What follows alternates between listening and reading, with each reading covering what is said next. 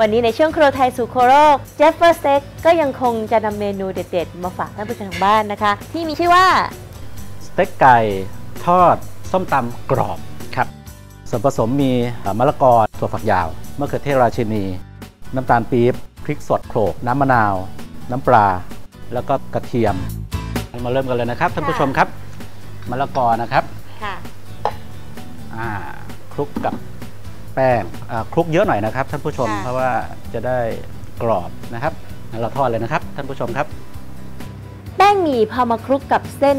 ซึ่งเราไปช็อกน้ำแข็งจนกรอบแล้วเนี่ยนะคะ แต่ต้องเคล็ดลับก็คือต้องเส้นต้องแห้งสนิทนะคะ เพราะถ้าเกิดเส้นยังเปียกน้ำอยู่เนี่ยเวลาคลุกแป้งแล้วมันจะไหม้ใช่ไหมคะใช่ครับแล้วก็มีจับกันฮะทำให้มะละกอไม่เป็นเส้นค่ะนะฮะเสร็จแล้วเราก็แค่นี้เลยใช่ไหมคะถูกต้องปึ๊บเดียวขึ้นเลยยกขึ้นนะครับ เราก็ได้มะละกอเรียบร้อย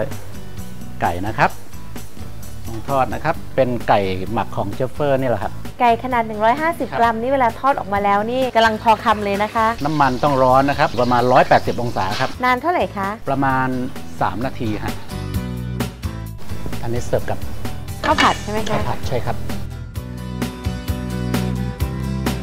เรามาทำน้ำยำกันนะครับท่านผู้ชมพี่ขี้หนูนะคะที่หนูเผ็ดไหมครับค่ะชอบเผ็ดไหมครับสักสองสามเม็ดพอค่ะโอ้น้ำตาลปี๊บสักช้อนหนึ่งอ่า น้ำปลาสักช้อนหนึ่งน้ำมะนาวสักสองช้อนครับค่ะช้อนเปรี้ยวนะคค่ะรับเนี่ยกระเทียมสักช้อนหนึ่ครังบถั่วเยอะๆหน่อย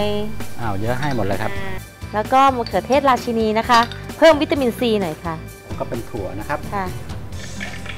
ชอบอุ๊ยพอแล้วค่ะไม่ชอบถั่วเยอะค่ะไม่ชอบเลยนะครับค่ะอันนี้ก็คลุกนะครับก็ค่ะจะเป็นน้ำยำสูตค่ะรเฉพาะของเจฟเฟอร์เท่านั้นค่ะครับส้มตำกรอบกับน้ำยำรสเด็ดครับ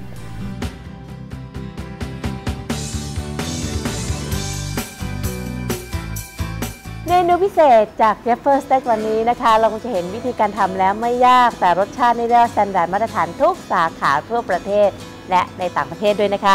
ไก่spicy เนี่ย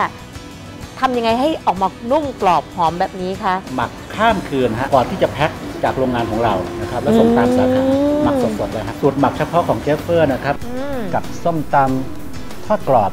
สูตรเฉพาะอืมอร่อยมากเลยของค่ะ Jeffer Steak ครับนี่แหละค่ะเจฟเฟอร์สเต็กคู่ลิ้นคนไทยมาตลอด 13 ปีนะคะ อร่อยสมชื่อค่ะ มาถึงคำถามประจำสัปดาห์จากเจฟเฟอร์สเต็กโดยเชฟซาลัดแล้วค่ะเจฟเฟอร์สเต็กที่ประเทศจีนเนี่ย เปิดที่เมืองไหนครับเจฟเฟอร์สเต็กเปิดที่เมืองไหน 1 เซี่ยงไฮ้ 2 กวางโจว 3 ปักกิ่ง ทราบคำตอบแล้ว ตอบคำถามเข้ามาได้ที่